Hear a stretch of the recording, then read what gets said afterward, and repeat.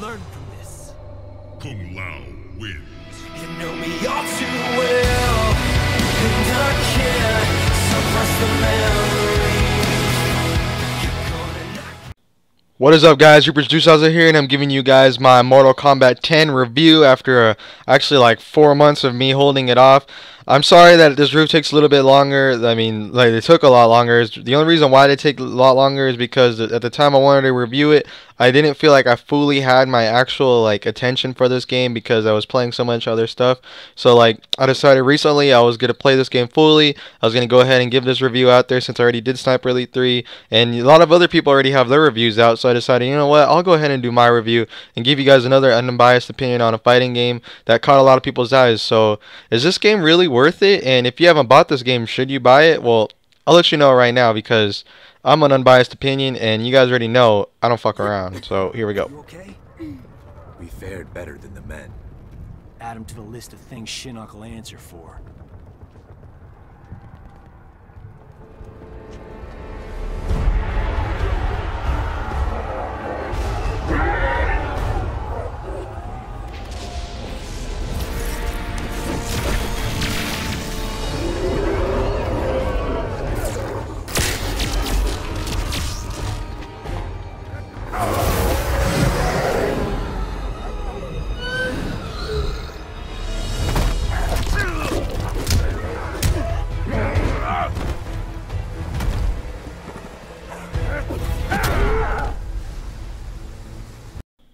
Story.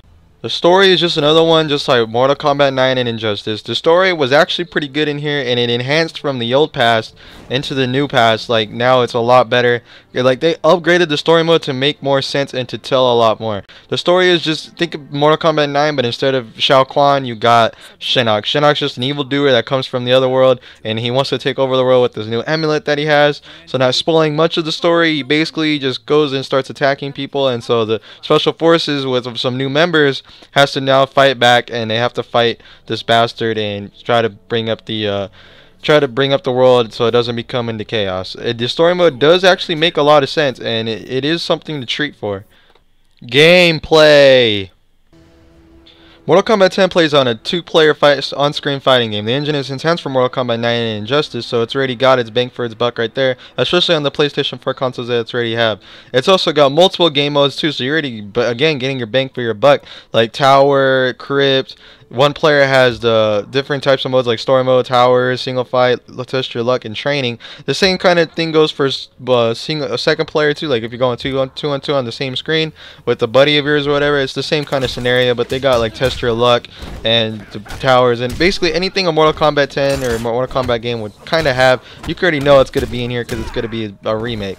But like I said earlier, the combos are very easy to learn as long as the fatalities and they give you a special edition just like Injustice did where you could put the combos you want to learn on the game. So that way it's not too hard nor it's too easy. So that way you can learn the combos. And then they get something called like the release checks the, like Street Fighter fans or something what have so you could fight better and you can make better combos and you could just basically enhance your fighting experience to make it better for all, like at all ages to make it you know a lot more kind of base type fighting sk skills and to make your just fighting skills even better than it already is.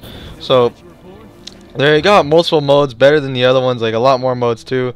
The some of them are not really like something you want to go with, like nothing you'll something you'll try, but you're just like ah, it's there, whatever. Test your luck is pretty fun. At times it can get very intense, and test your might is the same way, but it's not as good as the regular modes as already are in the game.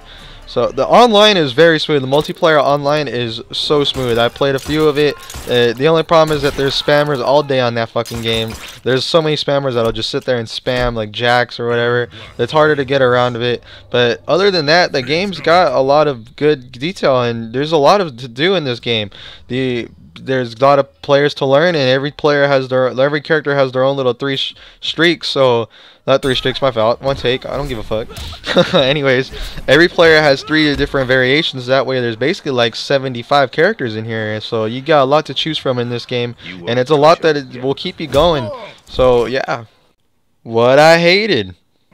Now there isn't a whole whole lot that I hated in this game that is like break game breaking, so nothing really game breaking happened to me.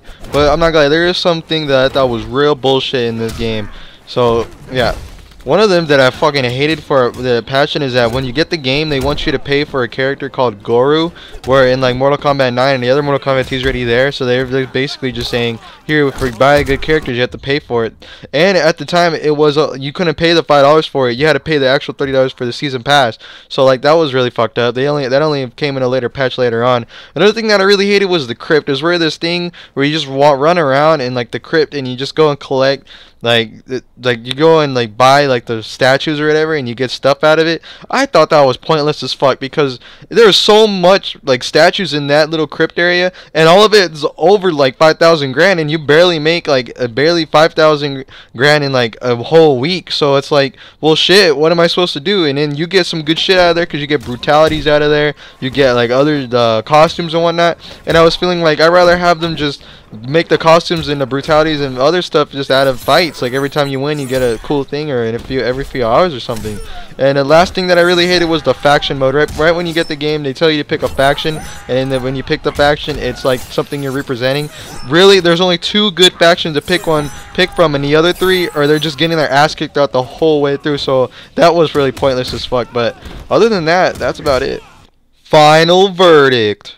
There is no doubt that there is a lot of fun to be made for basically anybody that's in love with fighting games or kicking somebody's ass. So I gotta rate this game for my final result, like my final rating is gonna be an 8.5 out of 10.